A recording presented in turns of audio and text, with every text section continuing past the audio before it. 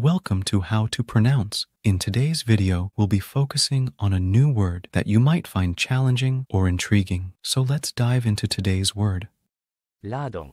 which means charge, load, shipment, or burden in a literal or figurative sense. let's say it all together. Ladung. Ladung. Ladung. One more time. Ladung. Ladung. Ladung. Thank you for joining us on this adventure in pronunciation. Remember, language is a journey, not a destination. Keep exploring, experimenting, and expanding your linguistic horizons. We'll see you next time.